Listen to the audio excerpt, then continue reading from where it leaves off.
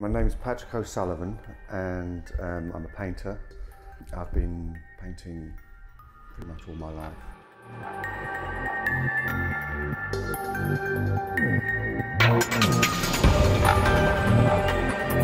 The show at the moment is actually a group show, but my work in it has been brought together by the gallery owner, uh, a woman called Nadia Tokarska.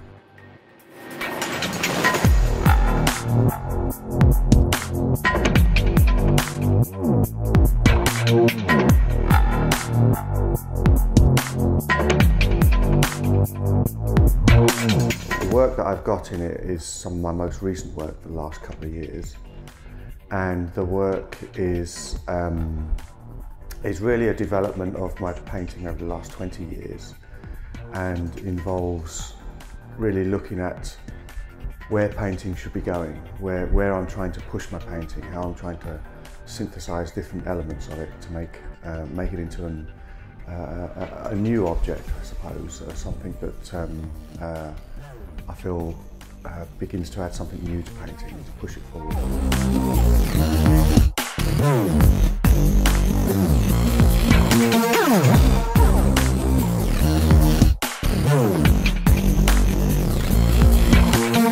The influences can spread way beyond art and way beyond painting. So, for example, architecture, construction of some kind, even steelwork or elements of engineering that are quite mundane and that are everyday. So, for example, air conditioning units, radiators, things like that.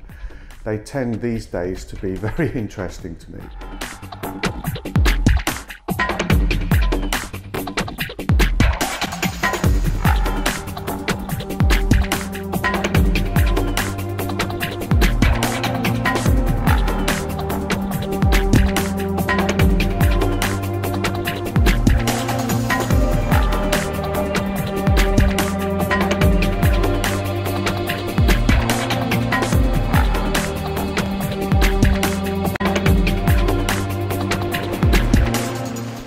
Have any sort of um, perceived notions or predictions about how it should or shouldn't be received.